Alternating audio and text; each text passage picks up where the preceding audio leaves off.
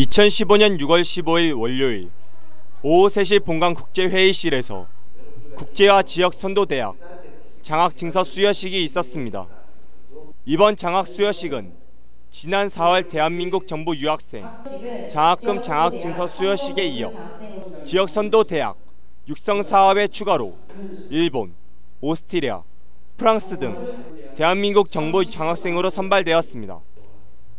장학 수여식의 자리를 빛내주기 위해 황성조 총장이 직접 참여하여 성적 우수 장학생들의 장학 증서 총 43명의 유학생에게 직접 장학 증서를 수여하였습니다. 어, 선문대학교에 다니는 일본인 그리고 한국인 후배들한테 전하고 싶은 말은요. 역시 이 대학교가 아무래도 아, 외국인들 많잖아요. 그 외국인들은 일단 저 일본인 후배들한테는 한국 친구들과 어울리면서 사는 게 좋을 것 같아요. 그거 말고 역시 한국에 이왕에 왔으니까 한국 친구들과 어울리면서 사는 게 저는 저로서 싶다고 생각합니다. 비록 타국이지만 열심히 공부해서 장학금을 받아가는 저희 선문대 유학생들의 모습이 보기 좋은 시간이었습니다. 이상 선물 클리우스 정민수 기자였습니다.